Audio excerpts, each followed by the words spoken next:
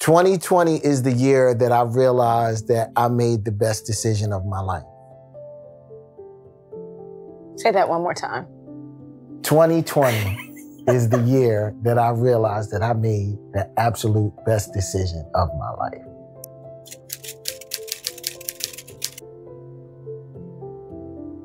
I started to feel like the only way that I was going to get married is my wife was going to have to knock on my door. And my wife actually knocked on my door. When I opened the door and I saw her, I was like, she's absolutely beautiful. Um, but I think what was the icing on the cake was she was smart, um, and she was a music lover. You know, my friend and I, and Lynette started talking about musical interest, and I started playing some stuff in the house.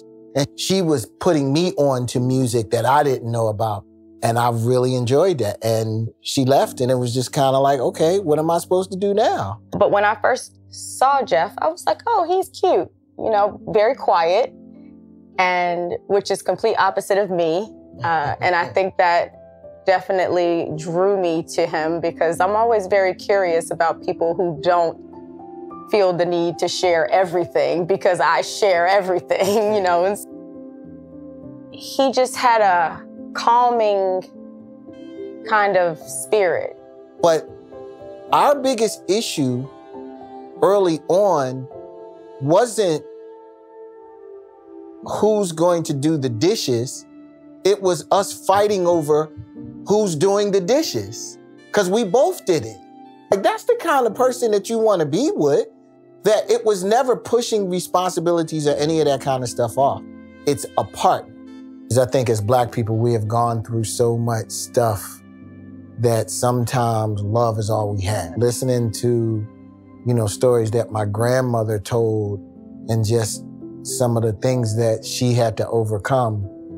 Uh, you know, growing up in the South, my dad passed away very early on, but uh, what I remember is my mom sitting on my dad's lap. What I remember is my dad kissing me and telling me he loved me every day. It's the thing that keeps us going.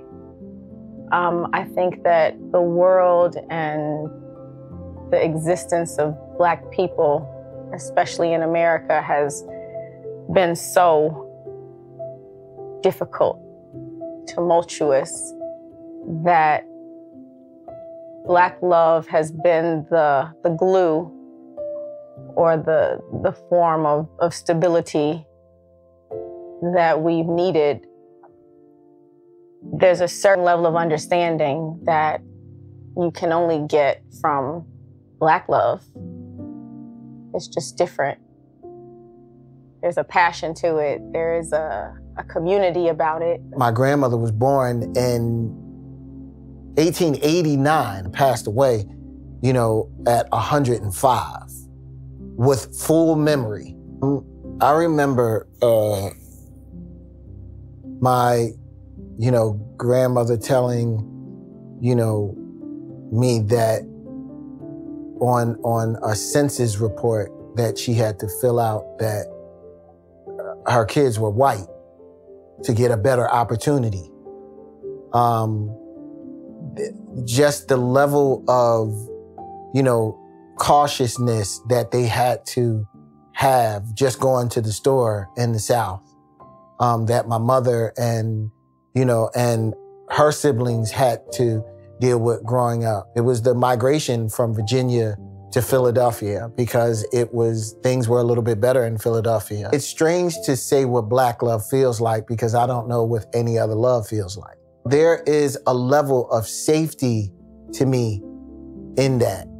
You know, growing up, um, I, my dad always made me feel safe.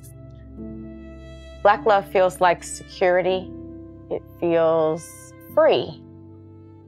2020 was the year that I feel that um, people's faith, people's love, um, people's commitment were, was tested more than more than ever. There's no one on this planet that you can pick up the phone and say, the last time we were in a pandemic, how did we get through it? So this is new for everybody.